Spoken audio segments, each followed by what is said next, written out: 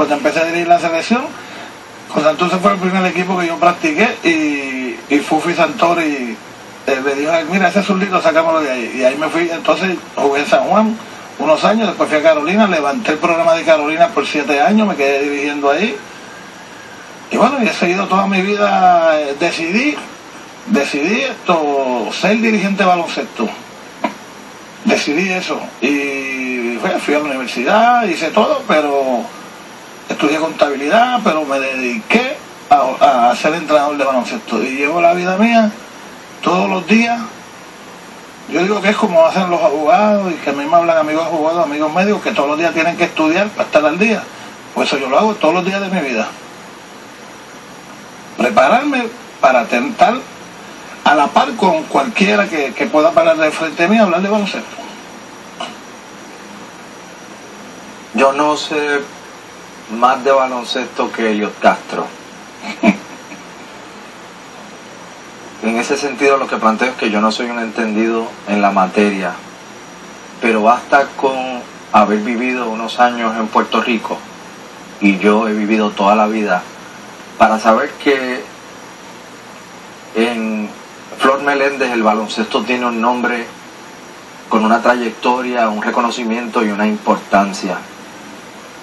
El respeto que no observaron con usted en ese episodio tan triste, yo se lo ofrezco aquí esta noche y estoy seguro que lo suscriben los miles de televidentes que esta noche ven la entrevista. Esta es la primera vez que yo hablo con usted en mi vida, a pesar de haberlo visto, odiado, leído, etcétera. Pero créame que nunca me imaginé que usted fuera como es. Yo soy un hombre cristiano. Yo creo que ahí se deja todo. Tengo. Como yo te diría, Rubén, mi papá y mi mamá. Es como, como dice Helio, fueron dos caballotes. Mi mamá una mujer muy recta, mi papá un hombre muy recto. Me duelen las cosas, me emociono porque puede haber uno que lo quiere igual. No hay nadie en el mundo que quiere que vos como yo. Son las cosas que me duelen, tengo que vivir con eso. En la vida mía, no es la primera vez que me pasa, y voy a seguir, voy a seguir hacia el frente. Me da más fuerza en seguir trabajando, porque yo siempre digo a mis hijos que yo voy a dirigir hasta los 99 años. O sea, ese es el espíritu que llevo con lo que es el básquetbol. Me agotaron y anoche estaba dándole una charla a unos niños, estoy en las canchas, me invitan, voy, le doy clínica a los niños. Lo que he hecho vida.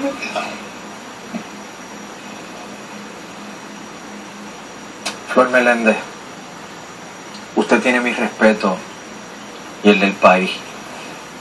Y eso trasciende a la Federación de Baloncesto de Puerto Rico, a quienes tengan las prerrogativas para escoger su dirigente. Muchas gracias por estar con nosotros. Gracias a ti, Rubén. En, en este proceso no había llorado. Lloro porque siento que tú me estás dando respeto en tu programa que no me dio la Federación de Baloncesto que tanto le debo y tanto le debo. La flor, gracias. O sea, a ti. De verdad, muy amable. Amigos, vamos.